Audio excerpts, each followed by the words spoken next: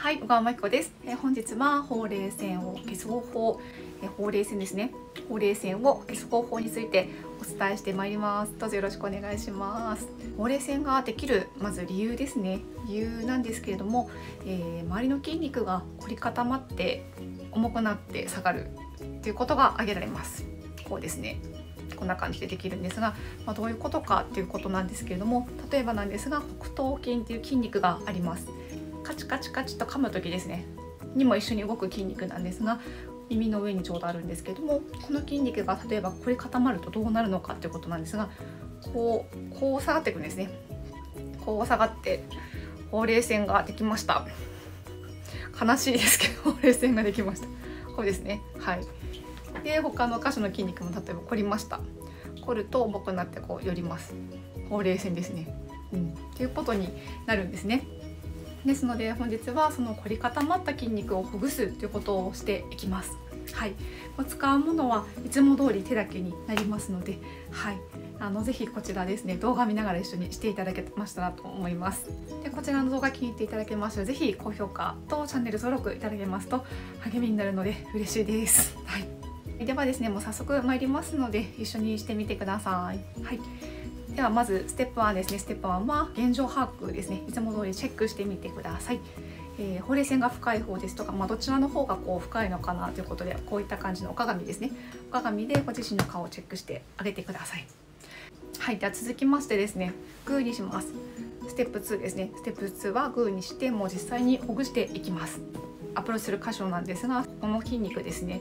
頬骨の下頬骨の下に置いて動かすということをしていきます。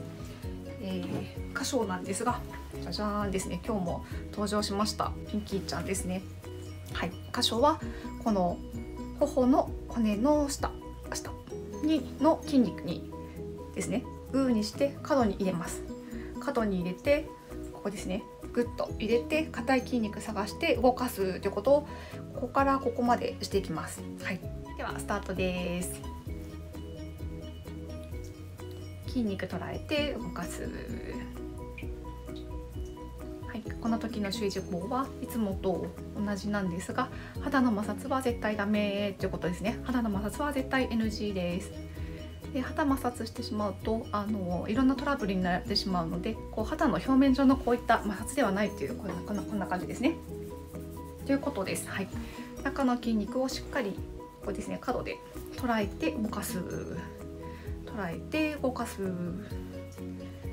捉えて横に動かすが大事になってきます。ぐーっと。で凝り固まってる方はちょっとすごい痛いかもしれないんですが様子見つつしっかりほぐしてあげてください。痛い方が痛気持ちいいぐらいになるとほぐれてきたポイント、まあ、目安ですね。目安になるので感じてあげてください。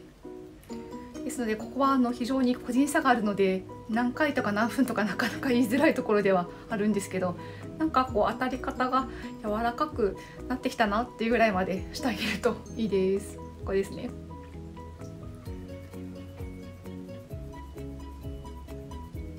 こんな感じですね。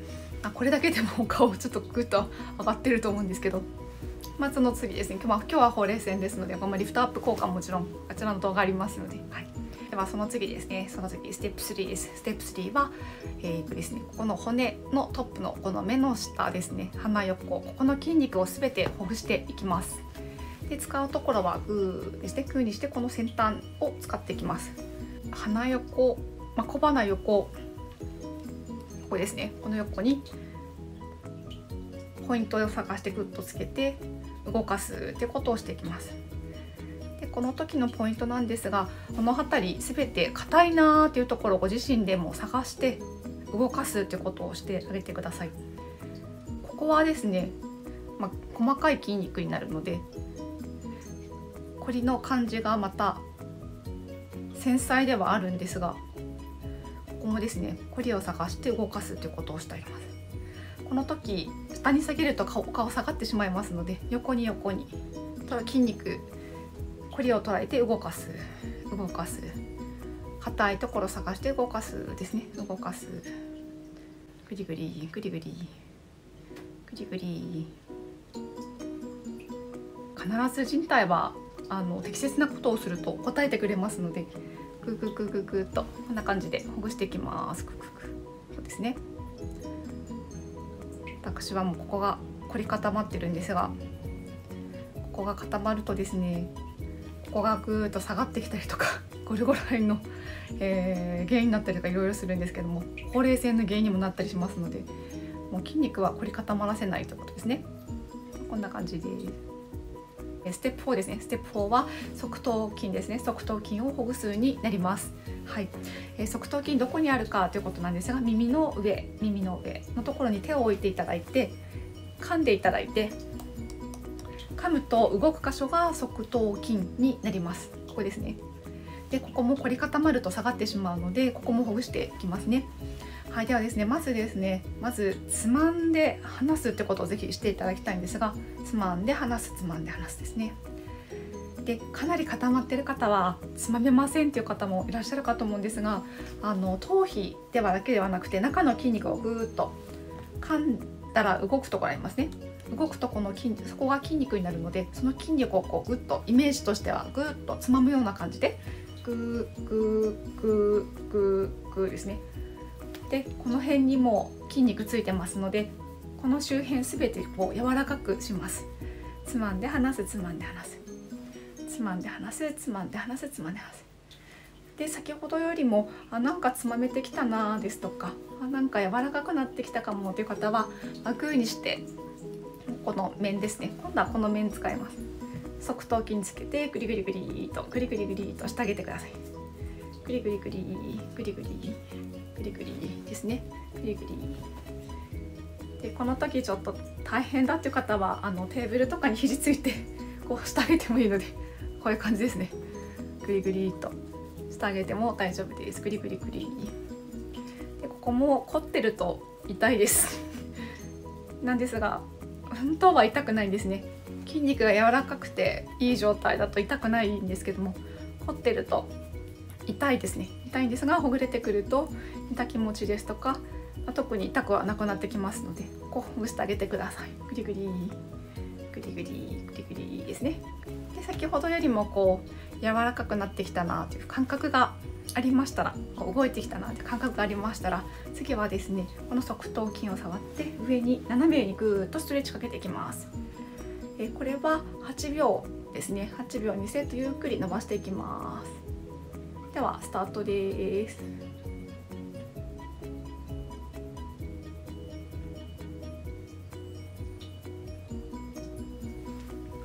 2セット目です。で目がこうつる方向ですね。ぐーっとつる方向ですはい。ではお疲れ様でした。はい。この段階でぜひそうですね。お鏡見てチェックしてあげてください。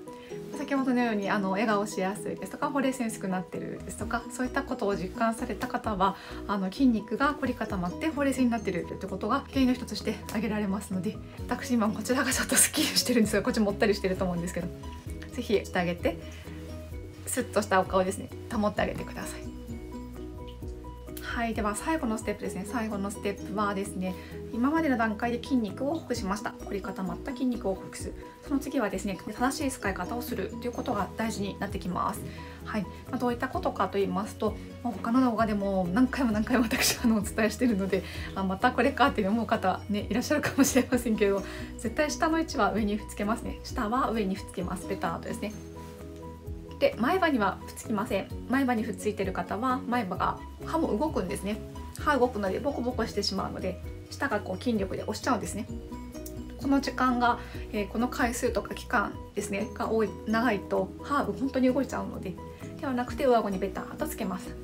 先端だけじゃなくてベターとつけます。つけてですねつけてこの辺の力すべて抜くんですね。抜いてここの筋肉だけ意識ちょっとこれ普段ですねあの、なかなか使ってない方は何を言ってるんだって話に聞こえる方もポカンっていう方も本当にいらっしゃるんですけど舌を上にもう顔をぜひ真似していただきたいんですが舌を上にふっつけてここだけで使えますお顔。こ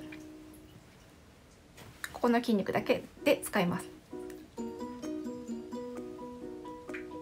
指を置くと動くのが分かるぐらい。でここの力は抜きます。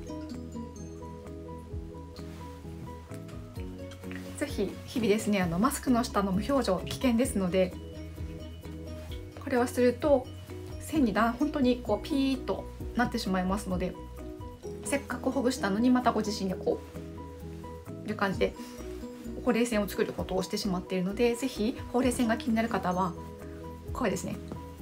もう笑顔ですね笑顔。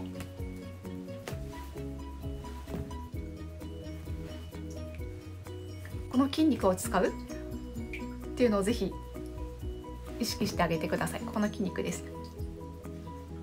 こちらもですね普段ここ使ってない方にこちらをお伝えすると動きませんっていう風にあのおっしゃる方すごく多いんですがあのそうですね普段使ってないといきなり例えばなんですが、えー、腹筋いきなり腹筋を普段全然知ってない方に腹筋をいきなり50回っていうふうにお伝えしているようなものですので最初できなくてもできないっていうふうにならずにですね是非コツコツとここを鍛えていくことを是非してあげるとここでこうキープしてくれますのでほうれい線も目立たなくなってきますしこの動き実は鼻下にも本当に関係ありますので鼻下長いの気にしてる方非常にあの多くいらっしゃいますのでここですね。ここを是非使って日々笑顔スマイルこれですね。